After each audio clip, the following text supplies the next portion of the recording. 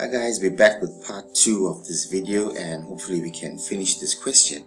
And if you remember in part 1 we showed that AS over SC is equal to 3 over 7 and in part 2 now they're asking us or in the second part of this question they're asking us calculate with reasons the following ratios RT over TC. So we've already done all our calculations and it's quite easy to see that RT over TC would be 2t and that would be 5t okay because rs is parallel to bp so all we can say is for number 2 we can say rt over tc is equal to 2t all over 5t and our reason would be that RS is parallel to BP and proportion theorem. Therefore, RT over TC is equal to 2 over 5. Okay, so we've done question 1 now, we've done question 2, let's look at question 3. So we're looking at triangle ARS over triangle ABC. So basically we want to find the proportion of their areas. So for number 3, let us write those two triangles down. Triangle ARS all over triangle ABC. Now let's look at triangle ARS. So if we use a different color, let's see ARS, there's it here. And let's look at triangle ABC.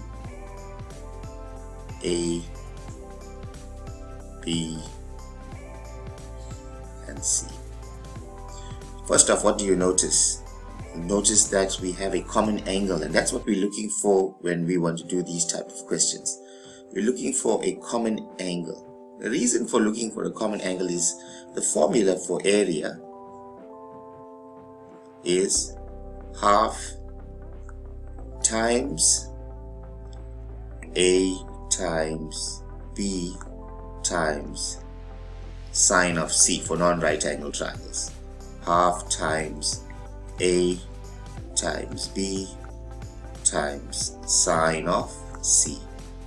And we can actually now achieve that here if we just look at substituting. So half times for ARS ARS our two included sides included sides uh, right we've got our two sides and included angle. Included angle is A.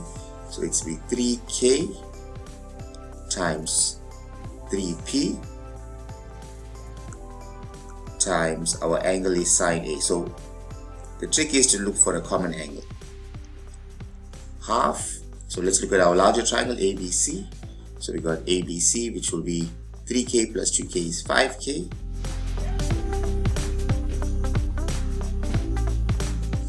And this whole side AC here would be how much? That would be 3, 2 and 5, that will be 10. P sine A. Okay, just a quick recap. Half times A times B times sine C. That's the area formula. And now that would equal to, so half and half cancels, K and K cancels, P and P cancels, sine A and sine A cancels. So we're left with 3 times 3 is 9 over 5 times 10 is 50. So the area of triangle ARS over triangle ABC is 9 over 50. Hope that was helpful.